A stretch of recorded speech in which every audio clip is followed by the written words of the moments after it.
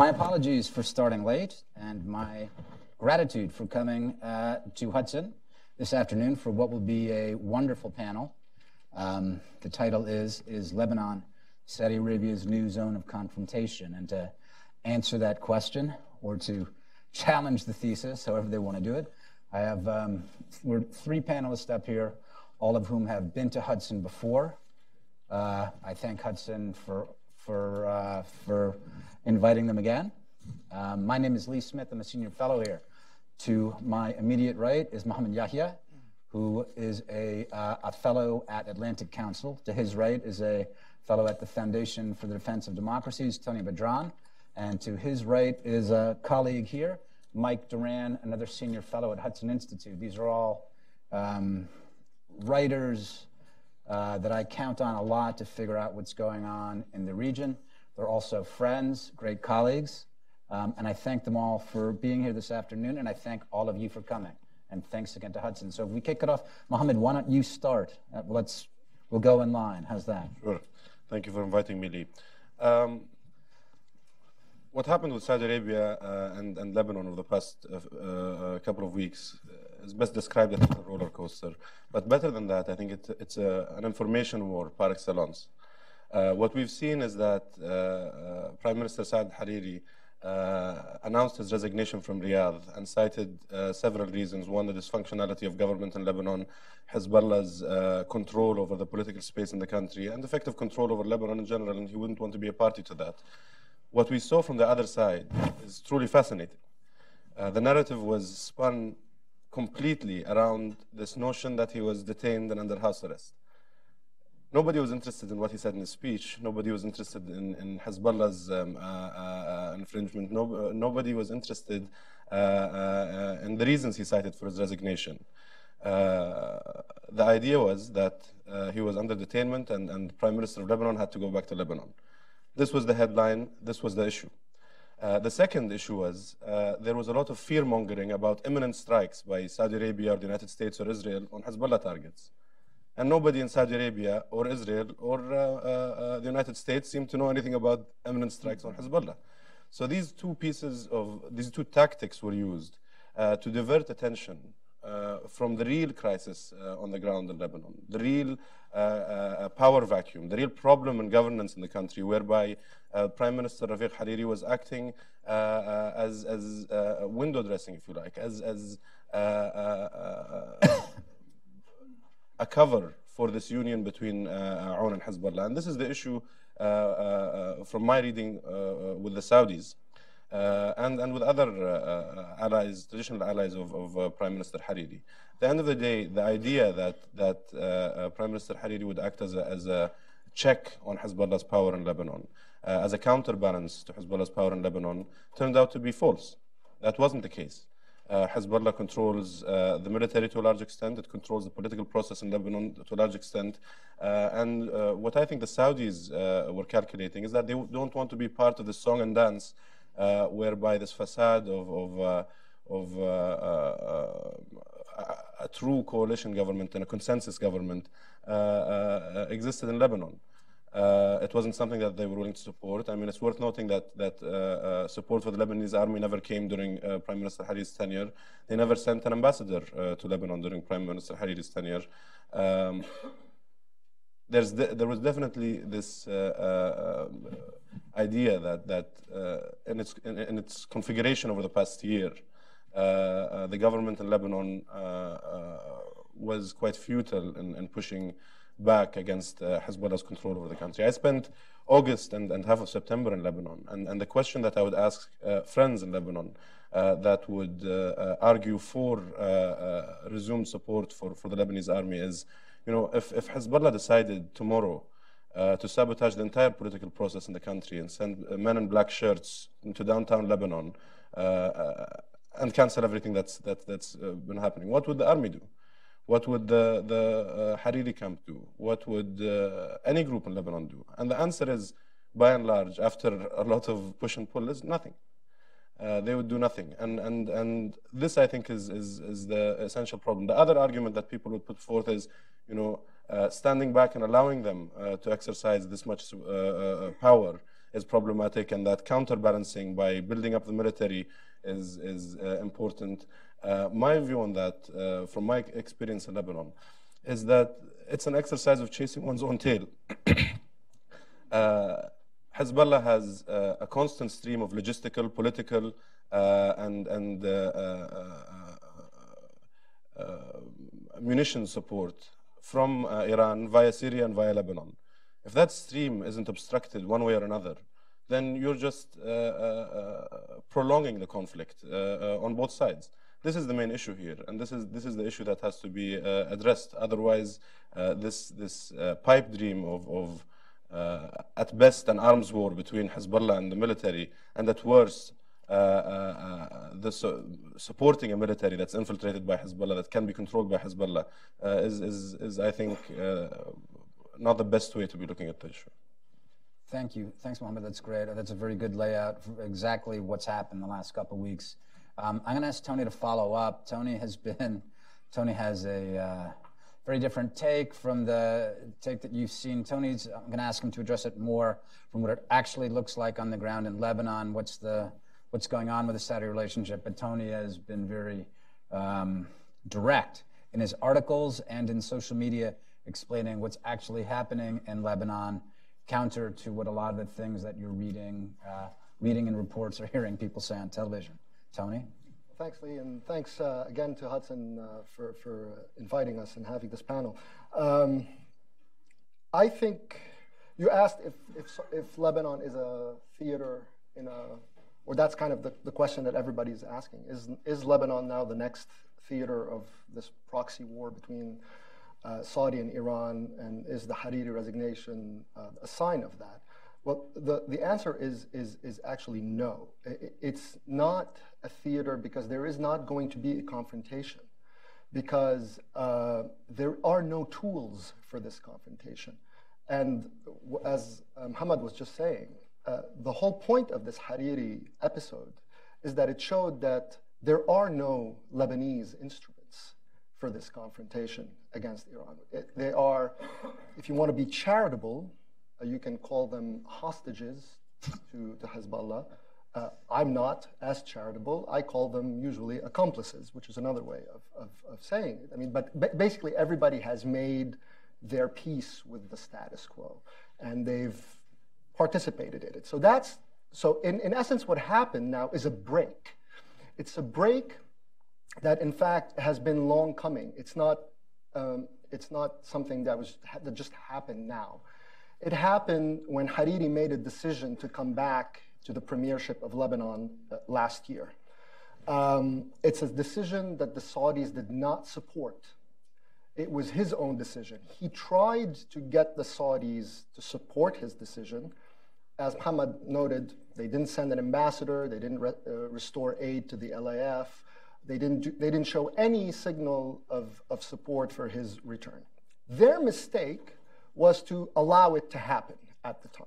So their move now to push for his resignation, if indeed that's what happened, is a year too late in a way. Because in the meantime, what Hariri, and by the way, I mean, I will say that this is not just Hariri's uh, uh, uh, calculation, it's a calculation by uh, several of his uh, colleagues uh, in Lebanon, of other parties as well uh, that led to the election of Hezbollah's ally as president, that then led to uh, the creation of a cabinet that's dominated entirely by Hezbollah, to uh, judicial, administrative, security appointments that increased, in fact, cemented Hezbollah's control over the state. That, all of that happened in this year. And that was the result of that break with Saudi Arabia. I would say that Hariri, Hariri's decision to come back already was premised on a break with Saudi Arabia. He was trying to maybe forestall it by trying to get them to support him and have it both ways, because his return to Lebanon is predicated on a deal with Hezbollah. Otherwise, it cannot happen. That's the bottom line. And so the notion that this, um, and, and, by the way, had the Saudis not intervened now, I doubt very much that Hariri would have resigned. Uh, there are uh, not just his political career at stake, but financial considerations at stake. Um, and I think if anyone, therefore, believes that in this kind of context where Hezbollah's domination is so absolute and where everyone is either unwilling or worse, complicit in the, in the order that exists in Lebanon, that this has any making for uh, a proxy or a confrontation, I, am sorry to disappoint you, but it doesn't, uh, it, it's, it's not going to happen. I'm not sure. I mean, I, just one last thing, because Lee mentioned something about how people are covering this uh, situation in Lebanon. And, and I, I reiterate Lee's uh, uh, uh assessment that, or maybe it's my assessment, that it's, it's entirely abysmal. But, um, but uh, there's, this, there's this theme, right, that, that ridicules the Saudi um, or, or contrasts the Saudi support of their clients and allies with that of Iran, right? So that Iran has more patience and builds relationship. And no, okay, that's not the issue. It's that the Saudis and the Iranians not only play by different rules, play a different game altogether, right? The Saudis don't clone IRGC structures in other societies that then take over by force of arms and, and so on and so forth. Saudis play a traditional clientelist kind of game of politics. They have no such instruments or structures to, to, to export to other countries. So when people say that, when, when people make that contrast, it's because they're missing the difference in what the subversiveness of Iranian activity with those far more benign um, uh, Saudi, uh, Saudi approaches. So in this case, when you're playing such a different game, the idea that you can kind of muster some sort of an opposition to Hezbollah that means anything inside the country based on you know, media wars or political jockeying that, as Muhammad said, can be nullified in, in, in an afternoon if Hezbollah sends its militiamen to the street, uh, then there is really no grounds for, for a confrontation at all in Lebanon. Lebanon, basically what Saudi Arabia has done now is just kind of written it off. Thank you, Tony. Um, the coverage is important. I think um, um, I think this is something we'll come back around to when we open up the conversation some more. But I think to understand why the coverage has been shaped the way it has, it's very, very important understanding things outside of Lebanon and things outside of Saudi Arabia too. I just wanted to underscore before I ask Mike to continue. I just want to underscore one thing that both Muhammad and Tony have said, and I think it. I'm going to repeat it because it bears repeating.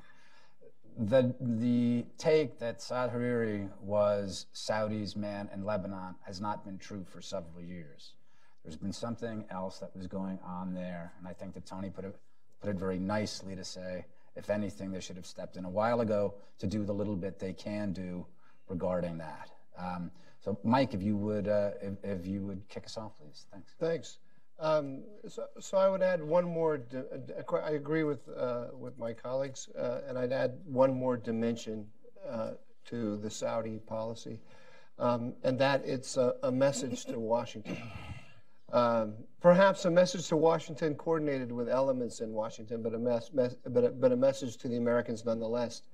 Um, and, and, that is that it's, it's a message about Lebanon and it's a message about the region more broadly. The message about Lebanon is that there is no alternative power center to to Hezbollah, that, that the Lebanese state is under the thumb of, of, of Hezbollah. And as long as Hariri there was there, he was sending a message, a, a signal to the outside world that there are there's a competition going on within within Lebanon between different sides, and we should back the Hariri side rather than than than Hezbollah. And what the Saudis are saying correctly is that he's more a fig leaf than an alternative. Uh, um, uh, a, fig leaf, a, a, a, he, he gives the impression of a democratic back and forth that doesn't actually exist anymore. Um, and that is a message to the Americans about Lebanon, but it's also a message about the, the region more broadly. Uh, because what, what has happened um, under the Obama administration, and to a certain extent has continued under the Trump administration, is that the Iranians are making, uh, together with the Russians, a major power play uh, in the region. Their power is increasing. Um, they're advancing on the ground because they have a ground game.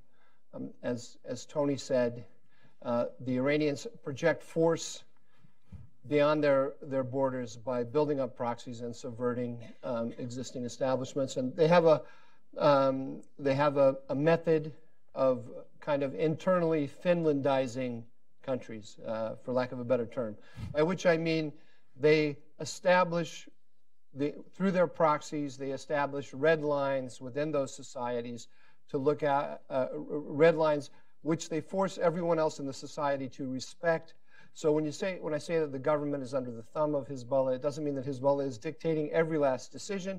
It's just made it clear that it has certain strategic interests, that Iran has certain strategic interests, that it demands that everyone else in the society respect.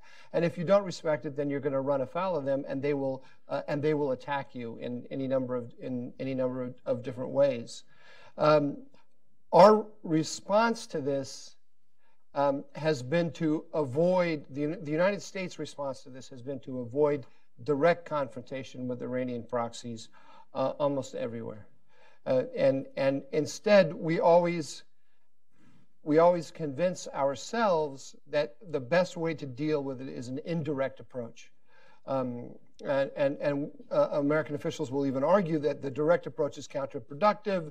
There are natural antibodies to U.S. Uh, to the imposition of U.S. force in the region, um, and, and, so it's better it's better to take the Iranians at an at, at, an at an angle all the time. So in Iraq.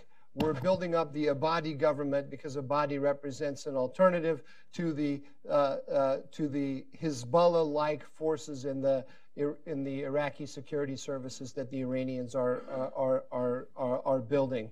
Um, in, in Lebanon, we're building up the Lebanese armed forces because they, they supposedly represent an alternative power source to, uh, uh, to Hezbollah um, and so on. What, what you notice, though, is that whenever there's a clash, our proxies never win. That's the, uh, so we can say we're building up these, al these alternatives, but the, the, most recent example is in Kirkuk. Uh, you, can, you, can, you can describe, you can analyze what happened in Kirkuk any number of different ways, but in the end, when the dust settled, the IRGC and the Quds Force were on top, and America's proxies were, were uh, lost, lost out.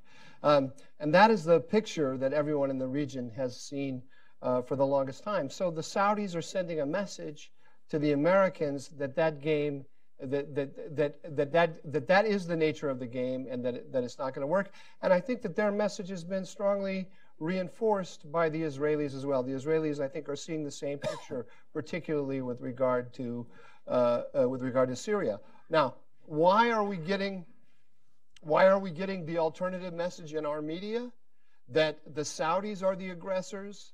Uh, they're the ones who are upsetting the status quo, uh, and so on. There are many different reasons for that, but I'll just name two and then pass it back to my colleagues. Um, uh, one is uh, one is that uh, the old Obama holdovers, the, the, the Obama team is still fighting for the Obama foreign policy.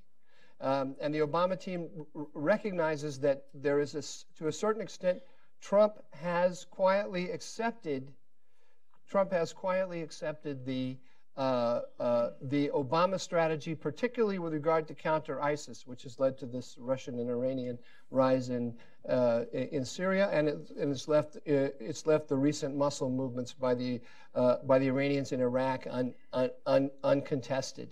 Um, and they, rep, they, they recognize that, that Lebanon is one of those areas in which they the Obama team blessed the Iranian uh, the, the, the, Iranian position, and they don't want to see any effort to uh, to overturn that because the Obama conception was built on the notion that the United States and Iran share certain fundamental interests in the Middle East, including destroying uh, Sunni uh, uh, Sunni extremism. So you're getting pushback from from that angle, um, and then there's a second thing, and it's just American domestic politics. Uh, President Trump started his trip, uh, started his uh, Middle East policy, kicked it off with a trip to Saudi Arabia. He's seen as closely associated with the Saudis, um, and so uh, a way of denigrating Trump is to is to is to suggest that that entire strategy of being close to Saudi Arabia is a uh, is a mis- is a mistake. So I think those two things combined the uh, Obama people fighting for the, what's left of their uh, uh of their policy, keeping Donald Trump from overturning all, uh, his legacy in the in, in the region, plus a, just a political desire to tarnish Trump, leads to this picture of the Middle East being presented in our media that is actually completely inaccurate because the aggressors in the region are the Iranians. Thanks, Mike. That's terrific because you've kind of mapped out in reverse where I want to go to. Where I want to wind up is how does what has been happening in the last couple of weeks, how does that point us to, or where does that come from what President Trump, the speech he made? We, I was here with uh, another fellow, another Hudson fellow, Mike Pregent, when President Trump decided uh, to not certify the Iran deal. And the question was at the time, what happens next? How does this unfold? And the next thing that happened was uh, was IRGC-backed forces overrunning the KRG. That was not a good thing. So what I want to get to is how does this fit into the larger idea that if the Trump administration can push back, if it is pushing back, if it will push back, but the place I wanted to start before that to show again the different uh, the different plates that are moving is again this information campaign which we saw unfold in the press, and it is how uh, Obama people and certain uh, Democratic operatives are fighting to hold on to Obama's regional realignment. So so let, us figure, Tony, I'm, I'm going to ask you, Tony, to, sort of pick up on this, if you because you know you, you, we've spoken about this a lot. Uh, um, you don't necessarily have to name names, but if you just say the different things, that what are the different, what are the different structures in the region that the Obama people are trying to preserve, and how is this played out? What we saw in the last couple of weeks with Saudi and Lebanon. maybe we'll just focus on Lebanon. What was the particular structures that were established there, whether it was with the Lebanese armed forces, whether it was the political situation, and so what are they trying to preserve? Right. So, I mean, this is to follow up on what, what Mike laid out. Uh, the, the Obama administration in Lebanon, um, in, when the let's let's put let's put the sort of the starting point in about 2013. It, it's a little bit before that, but let's say 2013. Why? Because this is the time when Hezbollah entered the Syrian battlefield officially and in, uh, you know, in mass. Um, at the time, the Syrian uh, rebel forces had still control over the strip of uh, the border with Lebanon. So there was, uh, there was a blowback so, you know, you're coming in, you're killing Sunnis in Syria. People are going to want to kill you too. So there were, uh, there were car bombs that started to go up in Beirut. Uh, interestingly, they were, they were not random in the sense that you would think of, let's say, uh, the kind of uh, stuff that you saw that's in places like Iraq or something where you know you just had a, a market and you would have mass murder of civilians. It, it was it was a it targeted civilian areas, but it also targeted, for instance, the Iranian embassy at one point, uh, or attempted to target the Iranian embassy. Anyway, so it was, it was focused on Hezbollah, and that was the point. Uh, what was the U.S. Um, uh, policy position at the time uh, under the Obama administration? It was to uh, share intelligence via the LAF, which it knew was very close uh, with, with Hezbollah, to support, uh, uh, to, to, to help Hezbollah tackle this, this threat. So they passed along intelligence. The LAF and in certain cases Hezbollah or apparatuses within the LAF that are very close to Hezbollah uh, moved against these threats and neutralized them. Within a year, this business of blowback from Syria was over.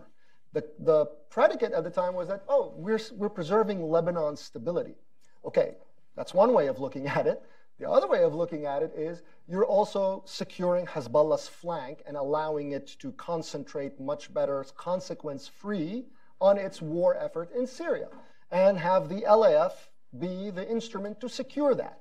Now, if you place that within, so in, after 2013, 2014, comes around. By 2015, the Obama administration altered the logic and the um, explanation for and purpose of military aid to the LAF. It used to be in the past that this was predicated on, uh, this was a, a, a, based on um, United Nations Security Council Resolution 1701 and uh, the uh, spreading of U.S. Uh, of Lebanese um, uh, authority all, all, over Lebanon and disarming or at least moving towards this, the, the, disarmament of, of Hezbollah. That now was completely shoved aside. Now, every, now it became that the LAF is a partner in uh, counterterrorism, right? So this is the point where we and the Iranians are friends, right? We, have, we share the same enemy, and this is what we want to stabilize Lebanon against. So the stability becomes really the stabilization of the Hezbollah order in Lebanon. And everybody kind of focuses on this thing called, you know, Sunni jihadism, and that's it. And that's really where, that's really the enemy of all, and everybody should kind of join hands and, and focus on that. So the, the aid to the LAF, as with the counterterrorism and the counter ISIS and counter Sunni jihad and jihadism campaign, this becomes the cover that the Obama administration used to, to again, quote uh, President Obama at the time, uh, preserve or respect Iranian equities in the region, right? So this is, this becomes, uh, Lebanon becomes a testing ground for that, right? So you, we don't want to upset the Iranians. We want to focus on the real enemy, this, this Sunni stuff that's happening, the Sunni jihadism stuff. Uh, and our policy in Lebanon becomes focused on that. So when these guys now in the media that you mentioned, um, a lot of them are former officials in the, in the Obama administration that, that came out, or at least were speaking on background to reporters, uh, pushed that line, right? That, hey, we had preserved Lebanon's stability, and now look, the Saudis Saudis, they're taking their sectarianism and they're messing it up. So you, you frame the Saudis in the, in the same place where you would have put the Sunni jihadism in, the same category. That's the thing that destabilizes Lebanon. And the, pres the uh, preserver of stability in Lebanon is really to maintain the Iranian order. Good. Let, let Hariri have his compromise with, with Hezbollah. Let him sit there. Good. This is excellent. This is how we share. This is how uh, everybody has to compromise and, and so on and so forth. So that becomes the, the template for how Obama really saw the region at the time in Iraq, as Michael uh, pointed out as well. So I think uh, this is why, I mean, my, to just finish on this note, this is why I've, I've described the policy, which has continued, unfortunately, uh, of the support to the LAF and of the support of the status quo that got consolidated under Obama uh, in Lebanon. This is a pro Iran policy in Lebanon. That's the bottom line. Thanks, Sunny. Mohammed, Mike said something before. He said that one way to understand this, again, if, if we're under, let's understand what happened here the last couple of weeks, and let's understand generally that there's people say things in public, people do things in public. The Lebanese prime minister resigns from Riyadh, but there's another level of action as well, just how different things are being messaged.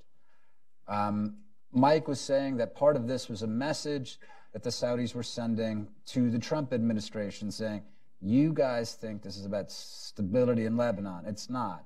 It's about an Iranian, it's, it's about an Iranian uh, structure. Do you think, or do people in Riyadh believe that Washington, that the Trump administration has now gotten this message? Or what's your sense of, what's your sense of what the conversations have been like the last couple of weeks?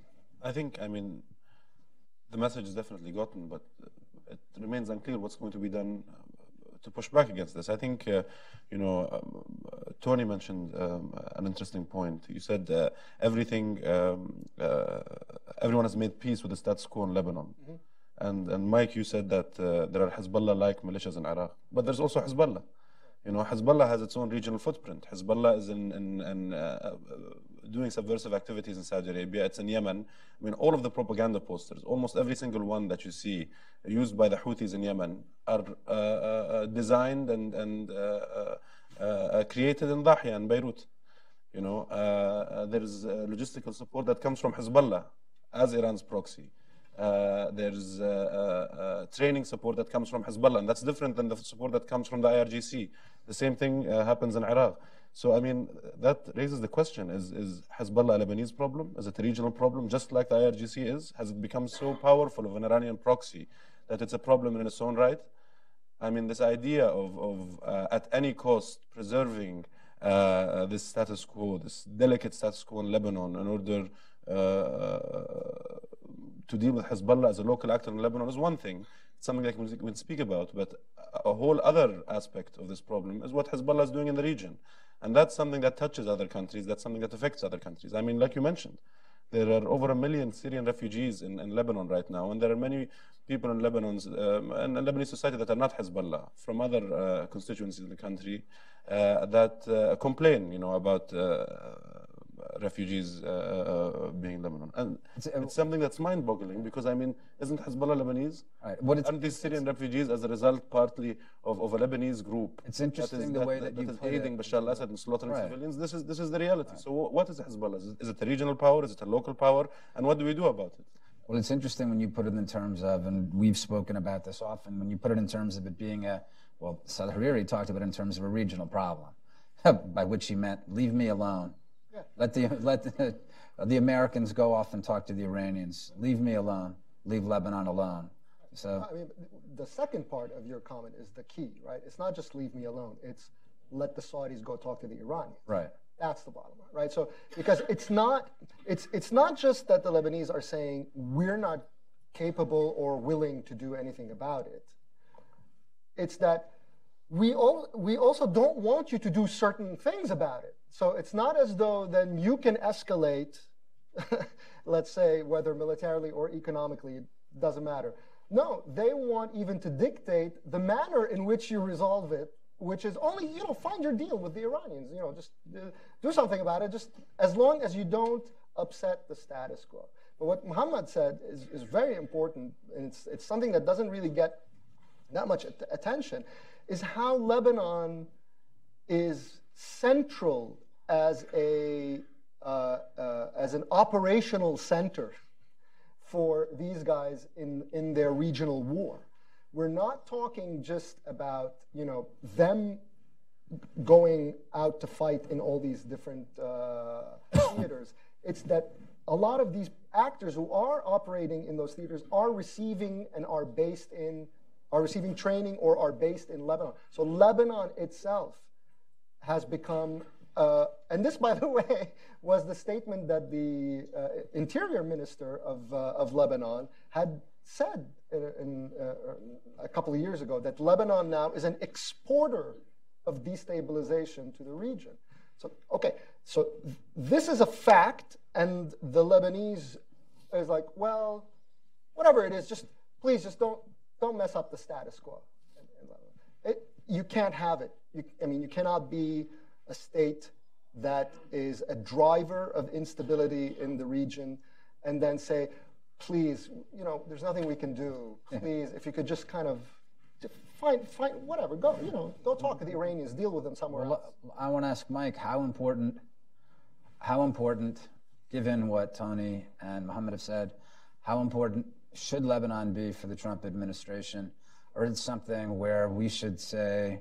Because again, in some ways, my understanding is that the Saudis have said it's not going to be one of our big theaters. For us, our big theaters are Yemen and Syria. Should the Trump administration do the same, or should the Trump administration have some sort of hand on Lebanon? Um, I, I, I think the starting point for the Trump administration um, is with two principles. One is that uh, you can't have a regional strategy that is coherent if it if it isn't across all theaters. So, and the only the only one that makes any sense to me is that we should be pushing back against Iran in in all theaters: Iraq, Syria, Lebanon, Yemen, Bahrain, etc. Um, and the, the second principle is that Iran is in a con- Iran together with Russia is in a contest with the United States.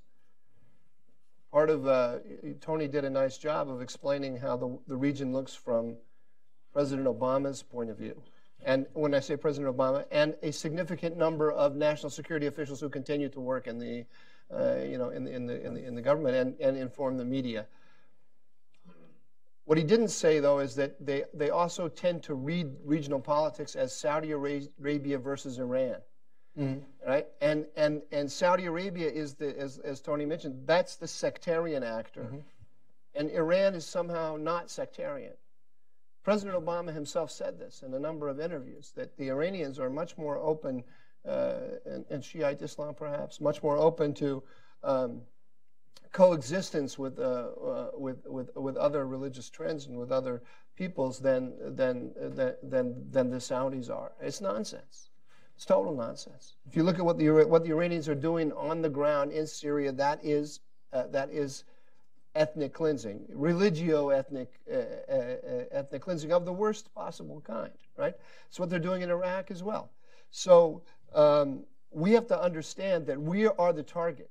But they have an indirect policy against us because we're a superpower. So what do you mean by that? If you can just explain. Them. They're destroying our proxies. They're okay. destroying our allies, and they go at us that way. And they they send Zarif they, they send Zarif to, to say to John Kerry or to say uh, uh, to, to, to Tillerson and that oh we have common interests, right? You, right. we are your best ally against Sunni extremism, uh, and, and, so on and so forth. When on the ground, they under, they're undercutting all of our friends, right? So we see it in terms of, or many of our policymakers see it in terms of a sectarian struggle between Shia and Sunni, Persians and Arabs, Saudi and Iran, and you're saying actually it's not really about the Saudis so much. It's more about our security. It's about us. It's about us. We are the. It's the American-dominated order that they are seeking to destroy. And they say it openly all the time if you listen to them. Like they, they don't hide it. They, they don't hide it except when they there's something there's there's something pernicious in diplomatic culture. Uh, in, in, with two things. One is that what you what you just what, what is said behind basically what is said behind closed doors between diplomats seems truer than what you can read in the newspaper. But if you just read the if you read the speeches of, of, of Ali Khamenei, you can see that he's saying we're, we're, we're out to undermine the United States, right? So uh, and that's why they went. That's one of the reasons why they had many reasons, but one of the reasons they went to Kirkuk right after Trump's speech right. was to send the message that yeah, Trump says he's going to push back against us. No, because on the ground we've got a ground game. The, the the the the Americans don't. So in answer to your question, which I didn't answer. No, no, it was, the uh, uh, uh, in answer in answer to your question, um, Lebanon is important to the United States and pushing back against it, but it's not necessarily the most important place, and and, and, and not necessarily the easiest. I mean. Um, uh, I, I, understand when, when Tony says that you know that the Lebanese are saying don't disturb us and so on. Um, uh, that that's a self-serving argument to a certain extent, but it's not a completely nonsensical, uh, nonsensical argument. Destabilizing Lebanon is not necessarily the best way for us to address our problem.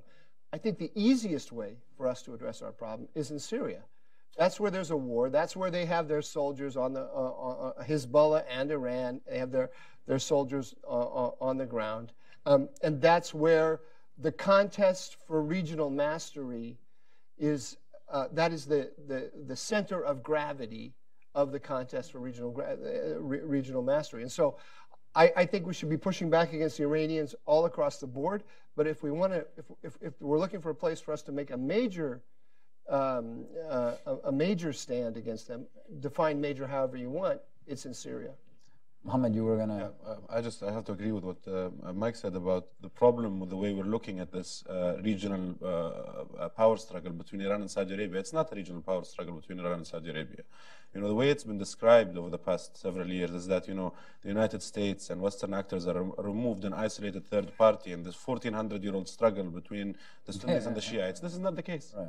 You know, if you were to go to Iran and ask them what the main national security threat to the Islamic Republic is, they'll tell you it's this country.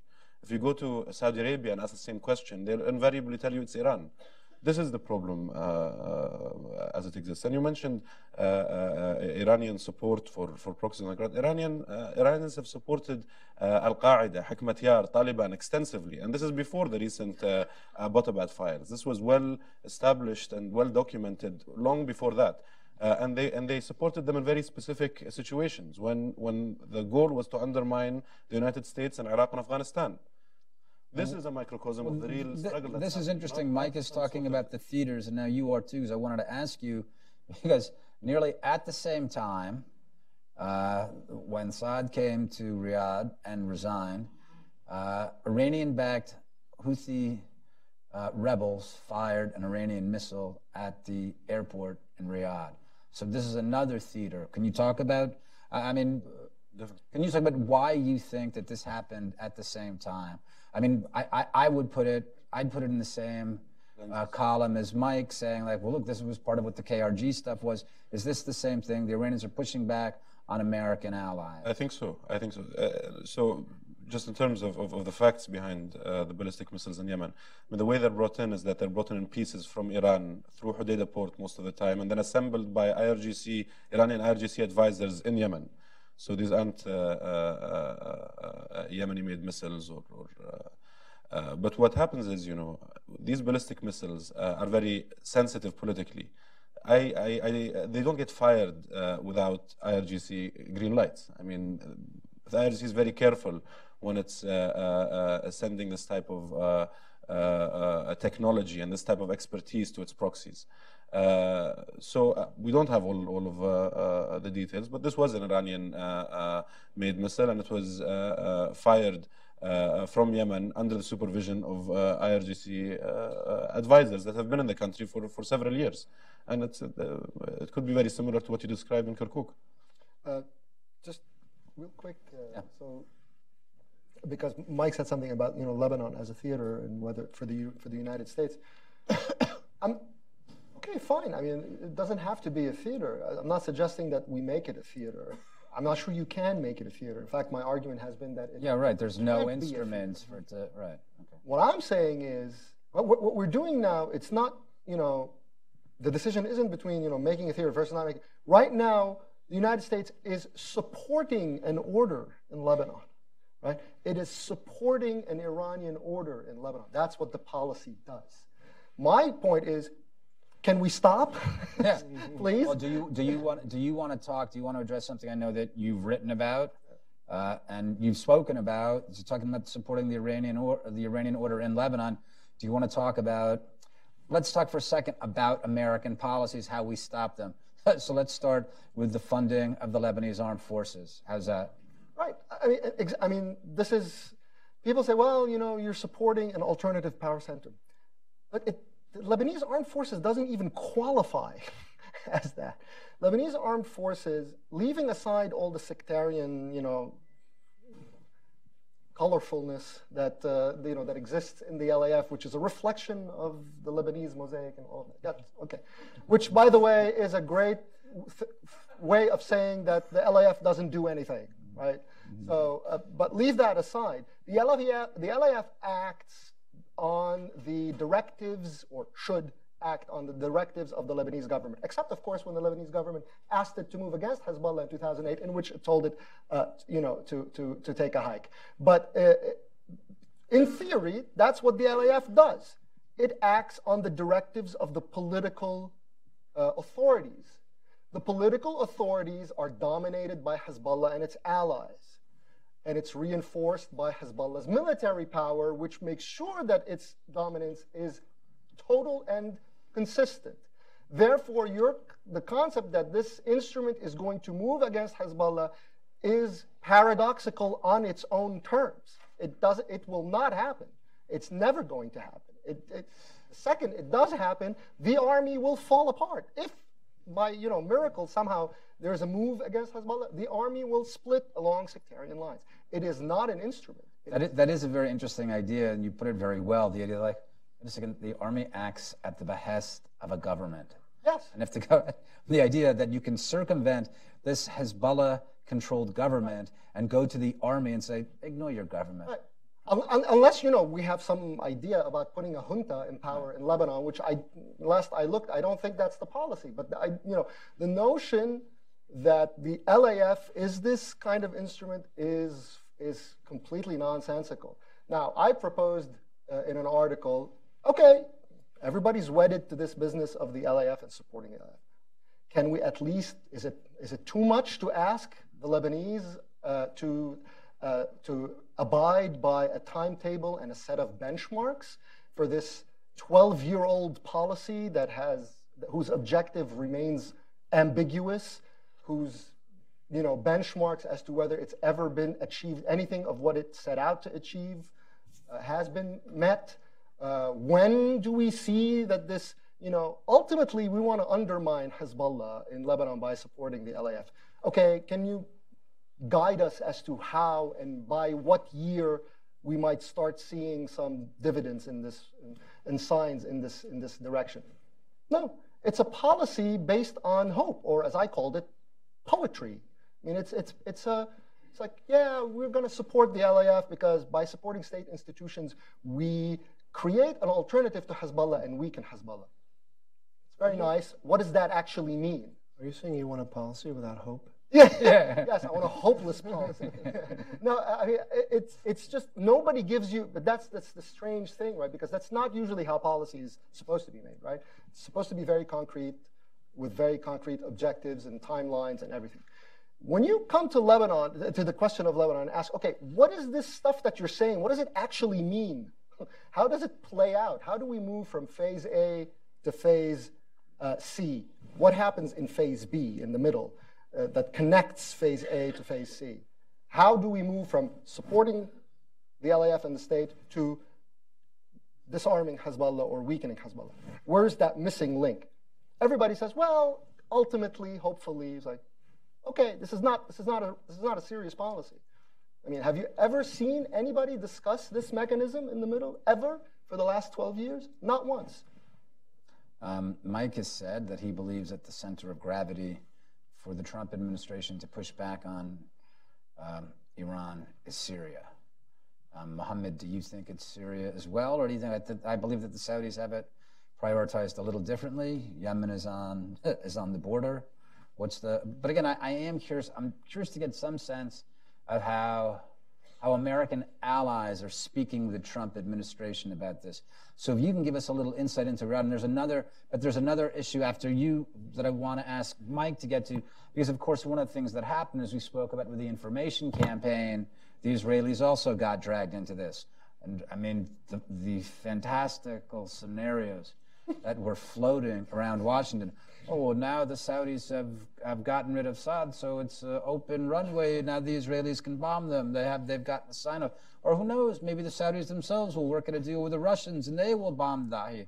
It's going to be just a spectacularly scary thing. So if we can start first with, you know, with you, what is the Saudi priority? And then Mike, yeah, I want to ask you how this looks from our other allies, in particular Israel related, what's happened in the last couple of weeks. You know, let's look specifically at Lebanon the solution for, for, for Lebanon uh, to a great extent is, is uh, solving the Syria uh, problem. As long as uh, uh, uh, Hezbollah has access to ammunition, to political and logistical support from the Iranians via Iraq and, and Syria, the, the support comes through trucks through the Syrian border.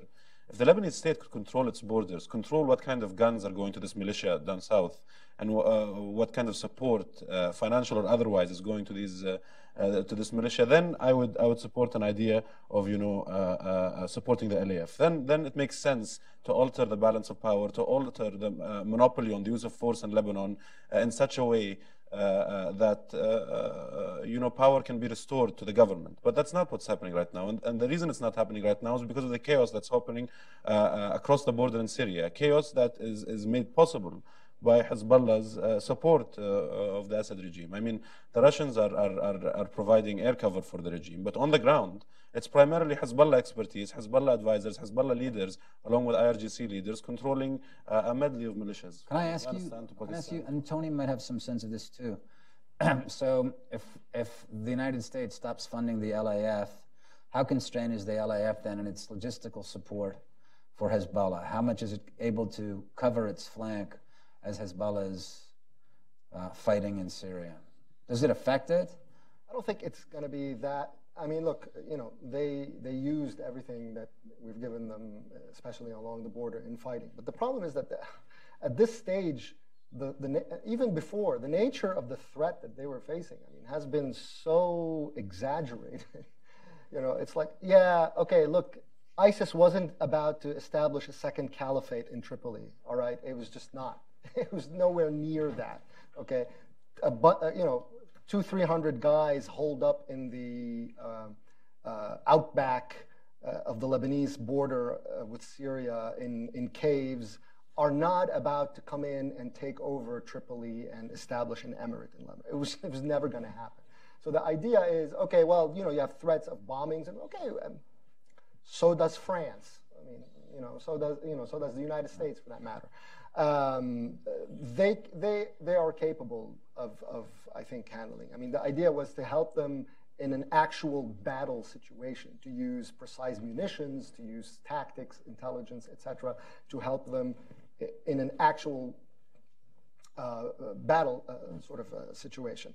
This is, uh, it's not, there is no such front anymore in Lebanon for these guys to fight. The only thing that they have now are these Palestinian camps, which, by the way, are, I mean, the security on those things is tighter than a drum. I mean, it's just, the LAF has those things surrounded and infiltrated, and, you know, so it's, I don't think there is any serious in, in the way that people have described it in terms of threat of, of a threat to, right. to, to Lebanon. So I don't, you know, as far as Hezbollah is concerned, but by that you mean again coming back to the idea of a sectarian conflict in Lebanon. Yeah, no, no. The, the, Sunni jihadi takeover. Right. Yeah, no, it's just, or even a Sunni Shia war. It was never. It was. It was never in the cards. It was never an, a serious option for anybody. It's just, it's not there. These guys are so small in Le- you know the the the, um, the jihadi uh, Islamists in Lebanon. Right. What they represent is so tiny and is completely uh, lacking in any political constitu- constituency of, or cover. There is nobody in the Lebanese system who would say, no, you should protect these guys. If that right. kind of thing arises, everybody, it's the, it's the easy consensus. And that's why the United States, you know, oh my God, the LAF is such a fantastic partner against these guys. Yes, because it's politically cost free. They can move against them. I, I ask you, for instance, by contrast, Hezbollah is not the only militia fight, Lebanese militia fighting in Syria. There are at least three, if not more, other militias. One with the Syrian Socialist National, Syrian Social Nationalist Party, uh, number one. Um, um, Hezbollah's resistance brigades, which are Sunni guys as well that, that Hezbollah uh, uses. And uh, I forgot. Uh, uh, Wahab, that's right. Uh, the Saraya, Saraya al-Tawheed, I think it's called. What is it called? Something. Um, anyway, so at, at, least, so a Druze militia, SSNP militia, and the Hezbollah resistance brigade, right? These guys aren't, you know, they're not the Wehrmacht, okay? They're not in the tens of thousands, uh, okay? They're very limited amounts of people, very limited amounts of ammunition, okay? Can the LAF move against a single one of these people to, to disarm them or to block their movement in and out of Syria? Not a chance. Not in chance. Not a chance. Jihadis all day long. It's the easiest thing to do. Um, Mike, do you want to? So yeah, again, if you can just give a, about the Israelis. Because remember how the whole thing. It's, it's not really so much about what the Israelis are saying, but why were the Israelis included in this information? I think it's uh, interesting campaign. though to look at it from the Israeli point okay. of view because the because the Israelis and the Saudis are reading the same uh, the same map. Okay. Uh, because the Israelis the Israelis have three red, lines in Syria: no use of Syrian territory for cross-border raids into Israel. Um, no transfer of strategic weaponry from uh, from Syria uh, from the Syrian government or Iran to uh, to Hezbollah, and um, and no IRGC presence on the Israeli border. Um, and as the Russians and the Iranians are more and more successful in in Syria, the Israelis can see this this uh, um, uh, Hezbollah and Iran moving closer and closer to the uh, uh, to, to the Golan. Um, and the, the, the pullback by the United States under the Obama administration um, gave the Israelis no recourse other than to take military action occasionally in support of their red lines, but also to go to, Tehran, uh, to um, Moscow and to negotiate with Putin. And they developed a very interesting uh, relationship with, with Putin, whereby they go and they tell Putin what their red lines are uh, and they explain to Putin that they're going to continue to take action on the on, on um, in in to protect their um, uh, their red lines. Um, and they will do it even when the even if the the things that they want to prevent are happening under a Russian umbrella. Um, and it's an interesting kind of give and take. They don't. They're not negotiating with. I mean, they are negotiating, but they're not formally negotiating with with with, with Putin. They don't. They don't ask his permission, and they don't ask him to do anything. They inform him of what their of, of what their red lines are, and then they and then they and then they take action. And their their theory is that this will create some tension between the Iranians and the Russians because it's embarrassing for the Russians to have the Israelis come in and, and take out targets under the Russian um, uh, under the Russian defense uh, umbrella. And they're hoping that this friction that, that's caused between the Russians and the Iranians will then lead the Russians to uh, uh, to restrain the Iranians to a certain extent. Um, the Americans are coming in with a similar idea. I think I don't have a great uh, clarity. Which is what that this will Which is well, I think I think the Americans are a little bit. I suspect, and I'm I'm reading tea leaves here. I don't. Donald Trump isn't talking to me about how he understands these things, right?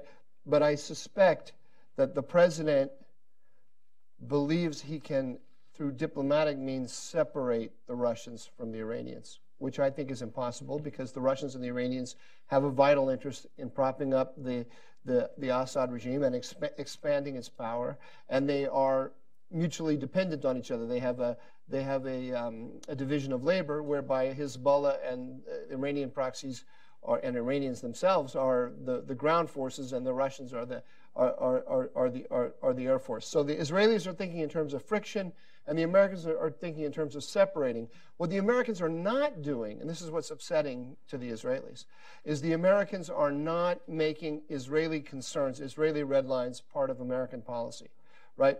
So there's no formal agreement with the Russians that the Russians will keep the Iranians, uh, uh, the Iranians out. So the Israelis are looking, still looking at the progress of the of the um, of the uh, uh, of the Iranians toward the Golan, right? And that and and the and, and the Israelis know that if they the Israelis are increasingly worried that they're actually going to have to intervene in Syria, something they have not wanted to do all along. So that and that could easily that could easily turn into a full-blown war in which in which case it would move to Lebanon, right? Because Lebanon because Hezbollah has 100,000 rockets and missiles that can hit major Israeli cities. Well, this is uh, Tony. Uh, Tony, I want you to go. I just want to ask something, and maybe this will inform your answer as well. Which is, it occurred to me, Mike, when you were talking about Israeli red lines about transfer of strategic weapons. At what point is it not just the transfers? What as at what point will it become? Wait a second.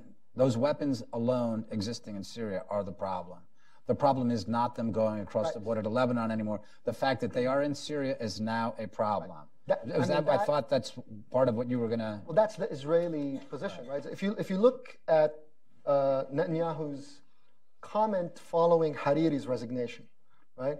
Nothing to do with Lebanon, it, because it's not news for the Israelis that Lebanon is Hezbollah. I mean, they, that's their position since at least 2009. I mean, right? So it's not like anything new. Um, what he said is it was a call to action to the Americans, as Mike uh, was, sa- was saying earlier, about Syria. He said to prevent uh, the, rep- the replication of this reality that exists already in Lebanon in Syria, which is the entrenchment of Iranian power in Syria. That's where the Israelis are, are focused now because you see, um, Mike used a, a very accurate and useful term, ground game right? See, we're talking narratives and indirect, clever ploys of how to, in the long term, hopefully hmm. undermine the Iranians because we've actually bought this nonsense that the Iranians have patience and that's what they do. And so we have to replicate it. They weave carpets. Right, exactly. So we have to replicate it somehow. In the meantime, they're lapping up real estate, right? So at some point, your options as to what you need to do to stop it you need you can't you know fight from the ether you have to fight from a physical space and they are lapping up the physical space and now that physical space is coming dangerously close to where others who don't have the luxury of distance Right. where this is going to lead to something and five kilometers and 10 kilometers in keeping the you know this negotiation that's nice. Nobody cares. The point is what happens on the 15th kilometer where there's an Iranian missile base, or, and so on. That's what I mean about the, you know, at what point does that change? It's not just the transfer, it's the existence That's of right. Syria itself. That's where the, that's where Israeli another, messaging is. Another question I have for this, and then I want to open it up for, to, for a few questions. And again, I think we'll run about five minutes late since we started about five minutes late. But for both Mike and for both Mike and Tony, well, Mike, actually, I'm going to ask you this. So you were speaking before about the the well-known deconfliction mechanism, where the Israelis and the Russians talk about not hitting each other's planes in the sky, and uh, Netanyahu goes and talks to Putin about these different things, and this is why both the, uh, partly why both the Israelis and the Americans think there's some friction there. I've always wondered, what are the Russians selling the other side? By which I mean, we know that everyone talks about, well, the Israelis have no problem going in, going in and hitting stuff, and the Russians don't stop them. How do we know that the Russians aren't warning the Iranians at different times? Because it would be a hard position, right? It's like, yeah, we're just letting them hit your stuff at any time. How do we know they're not selling stuff to the Iranians as well? Do you know, what, I, do you know what I mean? Yeah, no, um, it's a great question. I I don't have a good answer. Because the Israelis aren't going to talk about access- it. The Russians aren't going to talk about it. No, and, and, and, and I don't have any access to classified intelligence that might tell us some of the, what we think is going on between the Iranians and the Russians. I can guess, and, and, and, uh, What's your guess? my, my guess is that that a fight with Israel right now is clearly not in the, the Iranian interest. And, um, and so they, the, the Iranians and the Russians' priorities, you know, is securing Damascus and, uh, and, and the north and so on. Um, and, and, and so the, the Iranians, for the moment, can bide their time. But sooner or later, I, I, I, I, I operate under two assumptions. One, assumption number one, as I said, is that you cannot separate the Russians and the Iranians. They have the same strategic interests. They may have tactical differences, right? I like to call them Siamese twins that share the same organs, right? You know, they, they, they, may, they may fight with each other all day long, right? One, one wants to go out on one date and the other one doesn't and so on. But, uh, but that friction doesn't, doesn't mean that in the end they don't, they don't share certain basic interests. They're not going to separate from each other in, in, in, any, in, in, in any, any kind of meaningful time for us, for an American strategy. That's principle number one. But principle number two is, and, and, and I, am gonna, I'm seeming to con- con- contradict myself, but I'm not. The uh, don't, any any any apparent contradiction here is. Oh, you- you will resolve it in I will resolve. the right? dialect. Is that the Iranians have an interest ultimately in showing the world that you cannot control them through Moscow, right? They have an interest in showing this. They want Iran wants if you want something in Syria, Iran wants you to come to Tehran, right? Iran doesn't want you to go to Moscow. If they if, if, if the world starts thinking that you go to Moscow to get Tehran, that's very bad for them. So they're going to want to differentiate themselves at a certain point. Right now is not the time because right now uh, uh, an, an Israeli-Iranian war in Syria and in Lebanon and so on is not going to advance their interest of, of Do you think that drives them to war eventually, though? I think I, I, I- I, I think that if we think that if, if, if that if we think we're going to keep the Iranians out of southern Syria by negotiating sweetly with Putin and explaining to him that it's not in his interest, right? We're selling ourselves the same kind of uh, snake oil that said the LAF is going to push back against Lebanon and and and uh, and Abadi is going to reverse the Iranian, uh, right? We it, it, it belongs the the Putin is the answer. You see, here's here's what happens, right? American officials are not idiots, and they look at the fact that the they, they look at the fact that the Iranians are growing ever stronger in Syria, and then they look at the appetite of the American public for a muscle movement by the Americans in by the American forces in Syria. And then they talk to the European allies, right, who all want to give Iran a pass. And they look at the pain of the lift, right, mm. of of actually doing something against Iran and uh, uh, on, on the ground with the American public and with the uh, and with the um, Europeans. And then they start coming up with really, as, as Tony said, really clever, ethereal, hopeful policy. Poetry. poetry, right? Which sounds great, right? It sounds great. And uh, when, when you when you tell President Trump, you know, President Trump, the Iranians are getting a lot stronger, but yeah, or, or, or, or a, a great, a better example because we saw it in public when Putin and the Iranians invaded Syria, right, or uh, increased their increased their uh, their operations in in in, uh, uh in Syria exponentially after the nuclear after, after the nuclear deal in 2015. What did President Obama say? Oh, they're in a quagmire. you know, was, this is the dumbest thing that they ever did. They're gonna, they're gonna, they're gonna live to regret this. I, am waiting. I'm waiting for the regret. I don't see it. Let's open it up for a few questions. Oh no, no, I'm sorry. Did you have? Did you want to finish that? I can continue to talk. Let's open it up some questions. I'm sure you'll get a chance that, uh, to ask one there. Uh, Joe, if you could stand and introduce yourself, but if you would hold on a second until someone comes by with a microphone. Think down the center aisle. Thank you, Joe Gebeily, Lebanese Information Center. So, um, by the way, I was in Lebanon before the the resignation, during and after. So, like, I came back ten days ago, and I guess the, the first of all, I think we have to realize that the the anti-Hezbollah elements are there, and and they're present. They're still committed, uh, but unfortunately, and here's here's where my questions will. Uh, uh, will develop. I guess, unfortunately, these guys have been left out for the past 10 years.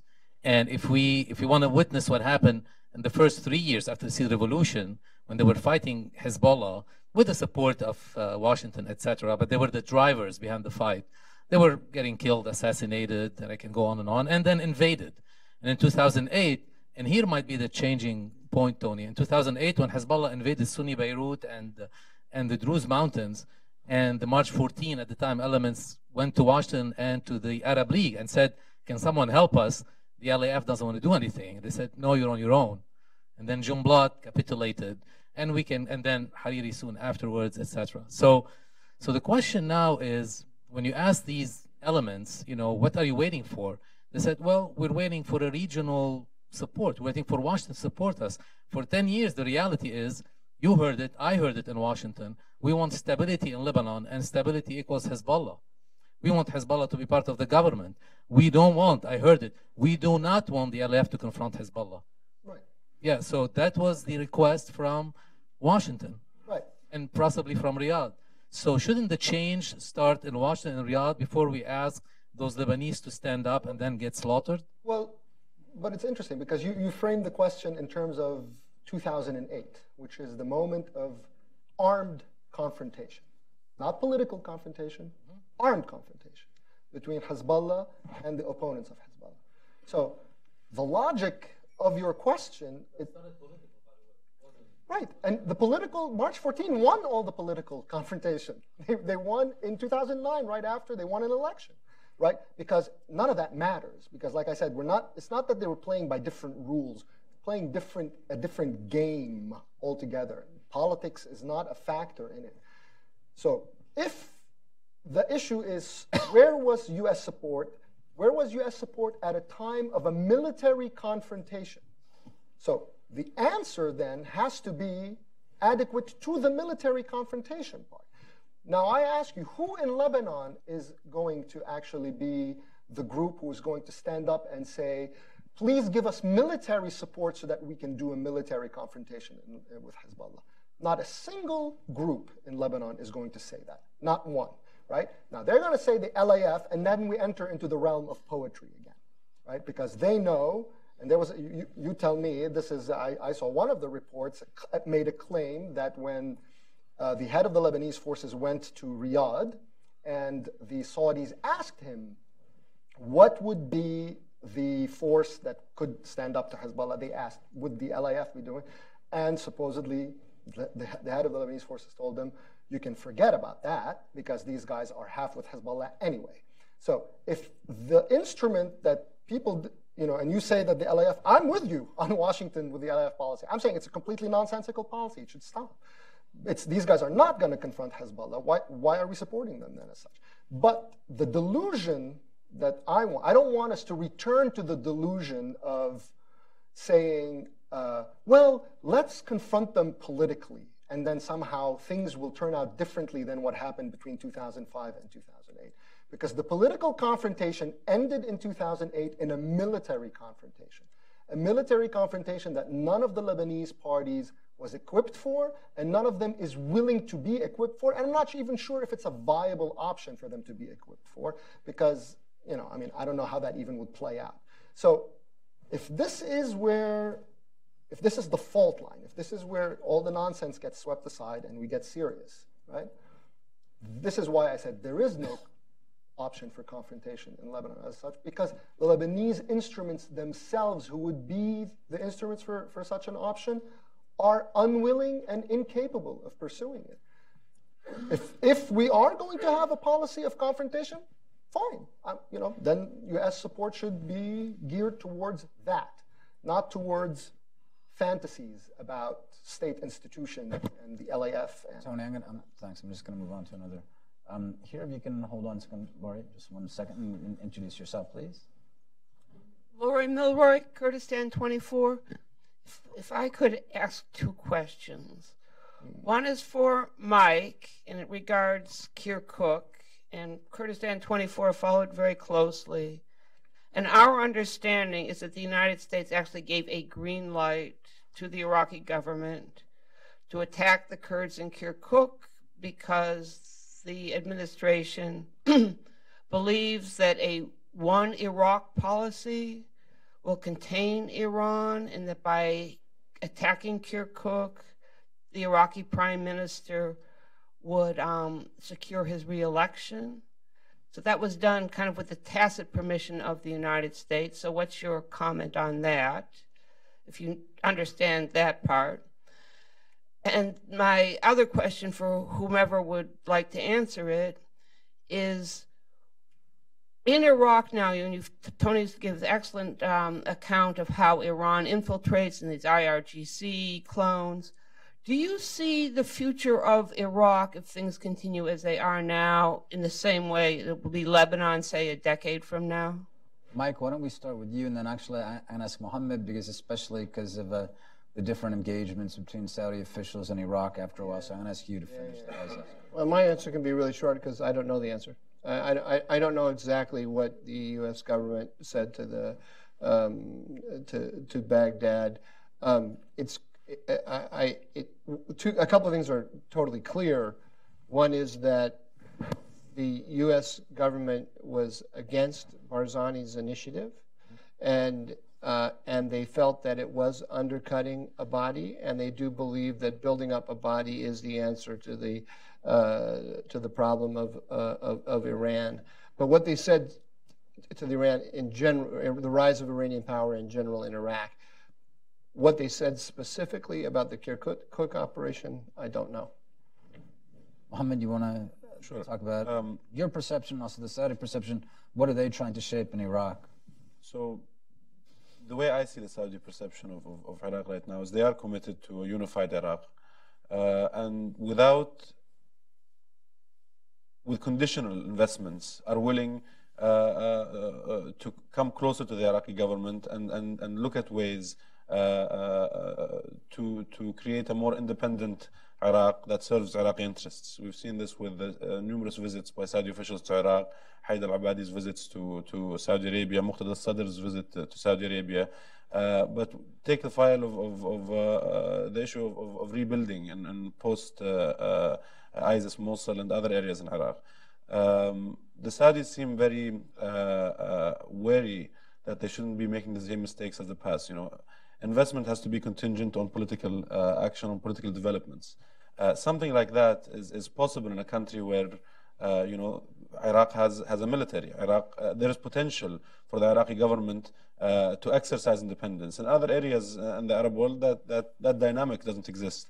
Now, it's worth noting also that the Iraqi government has a vested interest in bringing in these popular mobilization units into uh, uh, the state uh, regulated military and the state military institu institutions, and it's facing a lot of pushback by Iran for that reason. Iran doesn't want to lose support for uh, uh, independent Shia militias in Iraq that answer directly to the Revolutionary Guard. So that's a, a push and pull between the Iranians and the Iraqi government right now. Uh, that with caution, you know, uh, Iraq's Gulf partners are trying to support the government. Okay. Yeah. Um, let's get another question. Uh, we can come down the center line again, Shoshana, if you can stand up, I promise we'll, we'll, we'll go to this gentleman next. Okay, so you just stay there. Thanks. Shoshana Bryen, Jewish Policy Center. Um, the elephant in the room is that the only military in the region capable of taking on Hezbollah is Israel. Tony mentioned there's no there's no mechanism, there's no way to do it from inside Lebanon. No, there isn't, but there is Israel. So to go back to the idea of Saudi Arabia, the Saudi change in opinion about Israel all has to do with what it believes Israel will do against Iran. If that's the foundation for Saudi Israel friendship, uh, do you see that playing out in Lebanon or in Syria? I don't. I don't think they can bring the Israelis in. Well, wh- why don't we have everyone give a short give a short answer to that because everyone has a take. They might be similar, but let's Tony. Why don't you start? Then Mohammed, then Mike, if you would. I don't think. I mean, I know people read a lot into this. The, the so, I mean, what it does is, I think it's a function of what Mike said. It's it's a petition to Washington more than anything else. Now, it's an important thing because it puts uh, the Saudi assessment and the Israeli assessment about the reality of Lebanon in line with each other, right? They're in sync. But I'm not sure that the American position is in sync on this, right? I mean, the statements of the, the, of the, of the administration about the destabilization of Lebanon would preclude that. So that's number one. Number two, I don't see that necessarily as a, as a driver for the Israelis because it doesn't alter anything for them. It doesn't alter the Israeli assessment of Lebanon. So it's not like they're a novelty that, that, that happened they're, they are still waiting for Washington on the issue of Syria. So if anything is going to be, I think, with the exception perhaps of the building of missile factories inside Lebanon, which may not necessarily lead to a full-blown confrontation, but if for Israeli action in Lebanon, with the exception of that, I think the Israeli uh, attention right now is, is, is more Syria-oriented uh, as a result. So if it starts, it, the, the, the casus belli will start in, in Syria, perhaps, uh, and not necessarily in Lebanon at all. Mohammed, you want to? I think I would agree with uh, with, with Tony. Um, I don't see it in the cards that you know attacking Hezbollah head-on in Lebanon and, and repeating what happened in 2006 is something that, that people would like to see or something that's realistic going forward. Cutting the supply lines for Hezbollah that come through Syria and solving both problems at the same time uh, is something that's a little bit more uh, realistic. Uh, but the other part of the question, you know, there is an alignment in, in interests, if you like, between Saudi Arabia and Israel. There is an alignment in assessments of regional conflicts, but that doesn't translate into active cooperation, active unity. there is that could uh, happen at, at, at, some point in time. There are certain uh, uh, officials and views from the Israeli side that black boxing the Palestinian issue is necessary and focusing on, on building relationships with Arab countries uh, uh, with the Palestinian issue aside is the way to go forward. But that, that isn't being uh, uh accepted or entertained on, on, on the Arab side. Um, and that's, that's, that's how I would answer it. Mike, would you like to? Uh, I, I, agree with my colleagues. Okay. Um, this gentleman here, if you could stand and identify yourself. Thank you. Um, I'm John from American University, and thank you all for. Uh, yeah. Oh, thanks for coming. Yeah. yeah, thank you all for coming and sharing your opinions on Lebanon, Saudi Arabia. But what my question is about is Syria. So, you guys, uh, starting with Mike, and you guys seem to agree that Syria will probably be the center of the continued proxy war between the United States and Iran. And I think this is true. But my question comes into play on what you think the U.S. should be doing in Syria, mainly because the typical, you know, U.S. style of intervention is functionally very difficult in Syria due to Russian and Iranian involvement and the high degree of that. So I was wondering what you guys would individually prescribe that's for. U.S. Let's foreign policy everyone, in Syria. That's, that's good. And why? Okay. Why don't, why don't we have everyone give a short answer to that? Mike, why don't you start since you, again, think that that's really the center of gravity. Right. I think that both you, both everyone kind of agrees, but I, I think it's the center of gravity for the. I think there's a regional struggle for mastery going on, and and and it's the center of gravity for the Russians and the Iranians. This is their number one priority. I don't think it is the American priority. Uh, for a whole bunch of reasons I won't go into, but I, but I think that uh, Syria is always kind of an afterthought for the for the United States. I think it's because it is the struggle that is the center of gravity of the regional contest. It should be our focus. And what we should do, uh, um, bearing in mind that there is um, a, uh, a desire on the left and the right in the United States not to intervene in Syria, right? I, I, think that any, we have to be realistic about this. Any political leader is going to be very hesitant. I think the key is um, not not to give more, you know, Tony said that the Iranians are lapping up territory. The Iranians and the Russians are lapping up territory. We should not give them any more.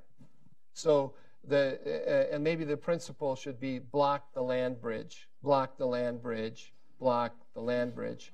And the, the easiest way to do that is in the middle Euphrates River Valley, Raqqa, and so on, where we have a dominant presence. And as I read what American policy is right now, we're about to hand it back to the regime, which means to the Iranians and the Russians, right? Now, it's going to be, it's not going to be a direct handoff. It's going to be a two or three step process. And, the, and, and, and one other thing, I'll just, I could go on in detail about different things we could do in, in the middle Euphrates River Valley, but another thing that you, I, I keep hearing European diplomats talking about uh, stabilization and reconstruction and they and and they want to they want to funnel money into Syria, and the Russians and the Iranians will be glad to take all those euros, right, and then demand more. And I think that those euros should only go to areas that are under the American security umbrella. But in, in, but to have that policy, you already have to have a different concept of Syria than we currently have because we got we've got one foot out the door right now. Tony. Uh, it's ma mainly along the same lines as, as, uh, uh, as Mike. Uh, I think, with one exception, is that I would not constrain the American footprint or the uh, uh, in Syria to just what we have in eastern Syria. I think there's a misconception about people. Well, you know, you can't go in, then you need to have an exit strategy. I mean, have you looked around Syria? The United States is everywhere around Syria.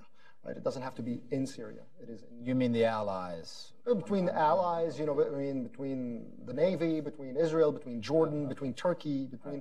I mean, you know, we had something in in the in Kurdistan regional government. I'm not sure how that how functional that is anymore. But but the idea is that you have different positions. That if the commitment, if the concept of th that this is what we need to do, and therefore everybody understands that we are in this game now. We're not just you know, talk to the Russians kind of approach.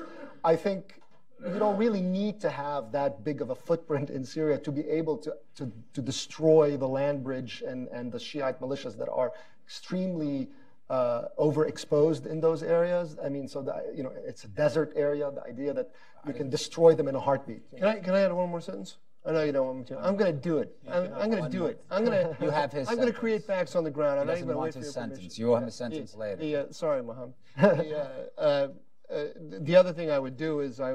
This is kind of an answer to Shoshana's question. I um, I would support the Israelis more. I forgot about that. Uh, b- uh, about the U.S. policy and and Israeli policy about the, the the movement of the Iranians southward should be in total sync, and that's somewhere where we don't have to we don't have to encourage the Israelis to go to war in Syria, but we just we just we just strongly support their actions in support of their red lines, and we make their red lines ours. That would be that would be that would be great. Yeah. Um, Then their deterrence and our deterrence would reinforce, and we don't leave them we don't leave them exposed before the Russians. right. Um, Nadim, I think this is the last question. You can hold on and wait for the wait for the microphone. I believe this will be the last question. Um, I'll make it a very short one. Okay. Are the Americans and the Saudis on the same page in the region and in, in, in Lebanon? I'm sort of, my imagination is triggered by Mike's image of the fig leaf. If we remove that fig leaf, what do we see underneath? I mean, uh, I, don't, I think we'll discover that the United States is no longer the, the, the dominant power, that it has no role in Syria, that it's not true that it doesn't have allies on the ground. It has allies on the ground who think that the United States abandons them every time, and the Kurds are the last example of that in Iraq, and the ones in Syria are about to discover this. So, is that a, a something that the, the Saudis and the Americans are on? on Mohammed, you it seems to me a- that American policy is only in sync with Russia and Iran. It's not in sync with any of its allies. That's what I mean. Mohammed, why don't you give that a shot first, and then we'll move down. I'd say maybe they're not on the same page, but at least now they're reading the same book. Uh, and that's not what was happening uh, under the Obama administration. Now, at least there is there is consensus on, on the general threat assessments uh, in the region, what needs to be fixed, who who can fix it. Uh, tactically, how that's going to play out, you're right. Uh, that remains to be seen. There are many many question marks. Tony? Well, no, I, I, in Lebanon, I, I think I think you're right. I think it's not. I, th- there is a general assessment that you know Hezbollah and Iran aren't partners, which was what used to be the case. They're not. But at the same time, we're still holding on to a policy that clearly the, the Saudis just broke with. The idea that, that you can fix anything in Lebanon to be meaningful opposition to Hezbollah is, is out of the question. We're still holding on to that. And I think that, and that's where I, what I was saying earlier, why I do think, forget whether you turn Lebanon into a theater or not, the investment, the US investment in the order is going to have detrimental effects uh, uh, on, on uh, our allies' ability to deal with it, but also it's going to have detrimental effect in that it's going to reinforce uh, the, the Iranian position region-wide. Well, be it the Saudis, be it the Israelis. I mean, in, in uh, quite, uh, in, you know, the idea that the United States is saying, no, we don't want anything to happen here, whether economically or militarily or anything, right? Or even politically for that matter. Uh, that, I think, puts, puts, uh, puts a tension between the United States and its allies over uh, how, to, how to deal with Lebanon, to move beyond this, this idea of common threat assessment to an actual policy. So Mike, if you'd like to. Um... Um, so, uh, an Israeli official told me, um, was describing the difference between uh, working with the Obama administration and working with the Trump administration. And he said that under the Obama administration, we uh, were, we were treated to a constant diet of hostility and resentment. And he said, with the Trump administration, we are, we are, um, we are contending with chaotic friendship. Right? And, and then he said, and chaotic friendship is better than hostility and resentment. And I, I think that that's, I think this sort of chaotic friendship is a better concept than, than the one that you suggested of, of we're actually supporting the, the Iranians and the, um, in, in, we're in sync with them. But it, it's, it's not, the, the, the, it's very important to understand though, it's very important to understand though that the theology of the Trump administration is that they are working against the Iranians. They truly believe that, sincerely, right? They just have a lot of, the, the, the problem with American policy is all of the mid-level concepts. It's not the higher concepts, right? It's the mid-level concepts, like as Tony was suggesting, strengthen state institutions, right? We want to. The way we're going to push back against the Iranians, we're going to build up state institutions, right? And this is how we're going to get rid of uh, Sunni extremism, and then we'll build up state legitimacy in in Iraq, Syria, and Lebanon. But all those states are under the thumb of the Iranians. So that's a little problem with the with this mid-level concept of pushing back uh, of building up state state institutions. But the goal the result is that we get in sync with the Iranians, but the goal is not to be um, the goal of the Trump administration. In the Obama administration, there was more of a question, but in the Trump administration, the, the goal is not to be in sync with the Iranians. It just so happens that we often find ourselves in sync with them. So. Let's con- let's con- let's continue this after Nadim. I'm gonna I, am I'm uh, gonna call it off, but you can continue the conversation after. In the meantime, I wanted to thank you all very much for coming. I wanted to thank Hudson Institute, and I wanted to thank uh, especially my three uh, excellent panelists. Thank, Thank you, you guys very much. Thank you.